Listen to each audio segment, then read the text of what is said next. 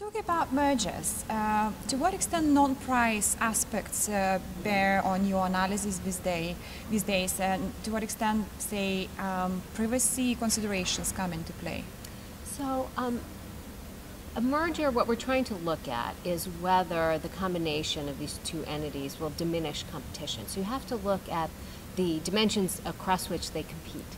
So often companies are competing on price. Uh, not to say price is easy to measure, but it's one of the easier easier uh, mm-hmm. attributes to measure, but quality is also important. So to the extent entities are competing on those dimensions, so for example, uh, we have um, had concerns in hospital mergers about uh, two companies, uh, two hospitals want to merge, and they say, well, we're agreeing to a price cap so you, you don't have to worry. And we said, well, but there could be a quality mm-hmm. impact too. And so we uh, recently did a study to, to measure that with a merger we weren't able to undo. Uh, and we did find a, a negative impact uh, on quality. Uh, now, turning to privacy, uh, if two companies are competing on their privacy, uh, mm-hmm. you know, attributes, then you might start to look at that as a competition issue.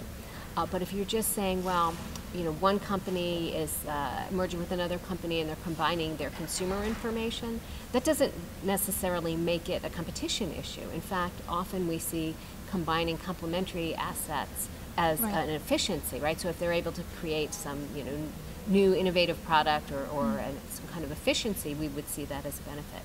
Uh, but that doesn't mean that privacy isn't an important factor. Mm. So, for example, at the FTC, when we reviewed the Facebook WhatsApp mm-hmm. merger, uh, we didn't see a competitive issue.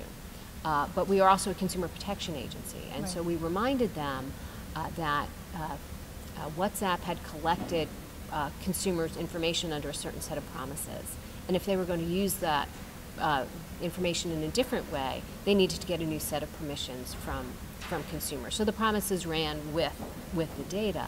Uh, but again, it wasn't a competition issue; it was a consumer protection issue. So it's very important to say, well, what what's the uh, the concern here? Is it really a, a, a, reduction in competition, or is it something else, a, a, promise that's not going to be adhered to, or is there some kind of privacy harm that might uh, might happen? And that is, uh, I think, a core consumer protection issue, and that's the tool we should use.